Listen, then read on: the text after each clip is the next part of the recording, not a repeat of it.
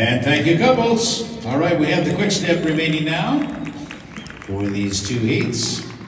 Heat one back to the floor.